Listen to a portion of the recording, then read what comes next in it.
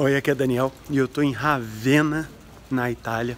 E um dos lugares é, famosos aqui que chama bastante atenção é esse aqui, Túmulo do Dante Alighieri.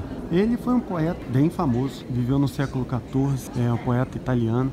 Ele nasceu em Florença, só que o trabalho dele não foi é, muito bem aceito pelos poderosos da cidade. Então ele acabou sendo expulso, acabou vagando por várias cidades na Itália e veio parar em Ravenna, já final, onde ele morreu. Ele morreu aqui. Hoje aqui é o túmulo dele e tudo mais. E uma coisa interessante aqui é que essa chama fica acesa 24 horas por dia.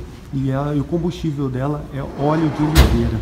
Esse óleo de oliveira vem das montanhas da Toscana. Quem dá esse óleo é justamente a cidade de Florença, que dá esse óleo todo mês de setembro, que é o mês que Dante morreu. Alguns até dizem que Florença faz isso como uma forma de penitência por ter expulso Dante, que bom, é considerado um dos maiores poetas italianos que já viveu. Então, isso acaba acontecendo aí. Alguns dizem isso. Mas a verdade é que realmente Florença dá esse óleo aí todo ano para manter essa chama acesa. Uma, coisa, uma outra coisa interessante é que se você estiver aqui no final do dia, é, você provavelmente vai escutar aquele sino ali bater 13 vezes. A ideia é relembrar o terceto inicial do oitavo canto do Purgatório, que é uma parte da Divina Comédia, uma das principais obras, com certeza uma das mais famosas, do Dante. Então é só para falar um pouco e comentar sobre esse que foi um dos principais poetas italianos. Quando você estiver em Ravenna,